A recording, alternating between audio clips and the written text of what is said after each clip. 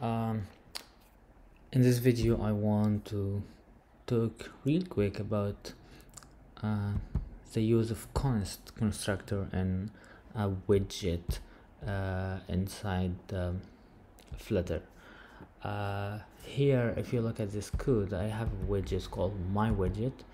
My widget has a const constructor and it only returns the text uh, and I'm having it as a child here to my column in my state app. So uh, here the children of the app will show uh, an instance of my widget and a text button.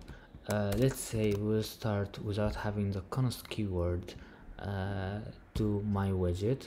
And then this button uh, set state so it basically asks the stateful widget to rebuild when we run this uh, let's see what will happen. Notice here inside the build method of my widget I print a statement says that my widget is building.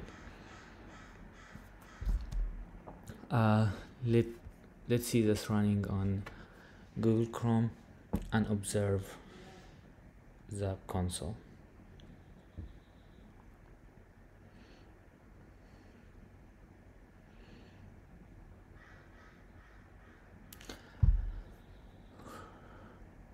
alright here it goes. There is my widget and this is the re rebuild button. When I click on it it sets state. It prints my widgets building again. You see the number next to the console print is incrementing.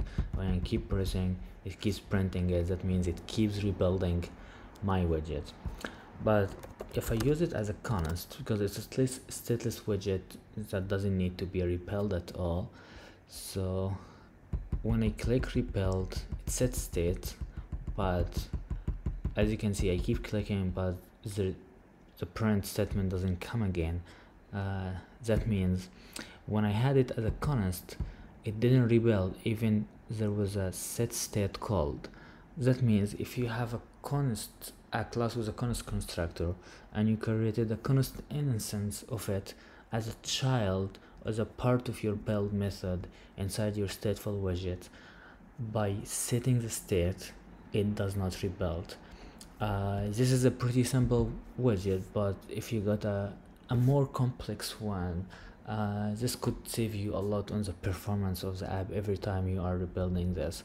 Uh, so this is something that's really good to pay attention to while um, designing your widget and breaking it down into multiple widgets. If you can take some components out have them as a constant constant widget with const constructors and then use these const constructors uh, that would be great. I also believe that uh, there is a lint rule in pedantic library uh, if you look this up uh, this this lint rule can let the IDE help you and tell you that this widget has a const constructor and you could be using this and it will give you a warning if you are not using the const constructor uh, if if it's possible if your widget does not need uh, to be not constant uh, that would be super helpful. Uh, thank you for watching. Bye bye